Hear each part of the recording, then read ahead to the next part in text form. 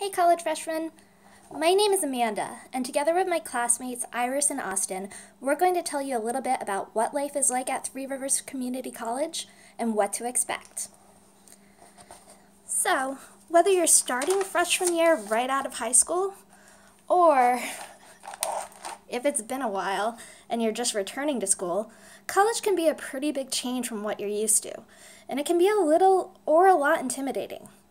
Juggling work, home, and family along with school can seem impossible sometimes, but we're here to help you and give you some great tips.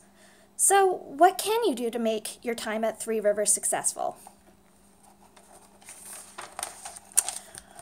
Well, one thing you can do is to become actively involved in college life.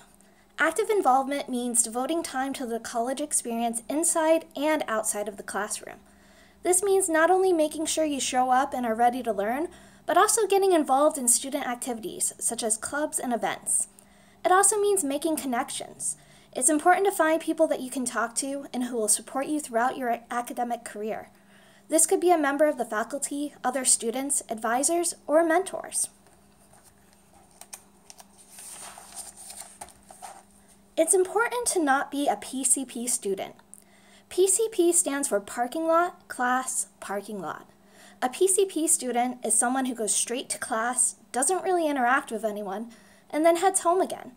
So why shouldn't you be a PCP student? Well, studies have shown that students who interact with faculty and peers and are involved in student activities have a greater level of academic success and are more likely to complete a college degree. Just make sure you're surrounding yourself with people who can help you succeed.